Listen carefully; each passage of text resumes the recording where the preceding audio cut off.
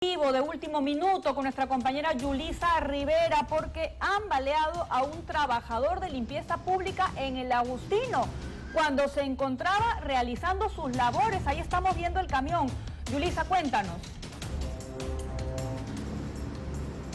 Claudia Pamela, ¿cómo están? Muy buenos días. Efectivamente, lo que ocurrió fue bastante lamentable durante la madrugada, pues es un trabajador de limpieza pública que estaba realizando sus labores con normalidad. Exactamente, el conductor fue atacado a balazos por un desconocido, pero según lo que nos han comentado los agentes policiales, la persona que iba al volante de, esta, de este vehículo compactador, pues se estaba movilizando con normalidad hasta que aparentemente tuvo un em, incidente con un mototaxista, un intercambio de palabras porque uno de los dos les habría cerrado el paso.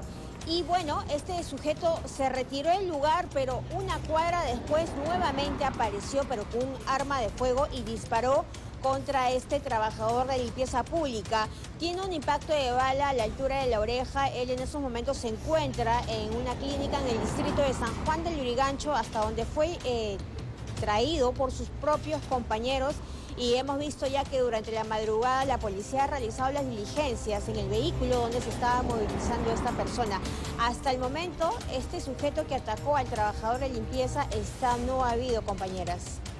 Bien, eh, vamos a esperar más adelante poder actualizar el caso, ¿verdad? Ahí vemos esta doble imagen con lo que ha estado haciendo la policía tras eh, lo que ocurrió y esperemos que la diligencia haya sido bien hecha, ¿no? que una investigación pueda ser sólida más adelante y se puedan encontrar a los responsables. Gracias a Yulisa por la información a esta hora de la mañana. Y ahora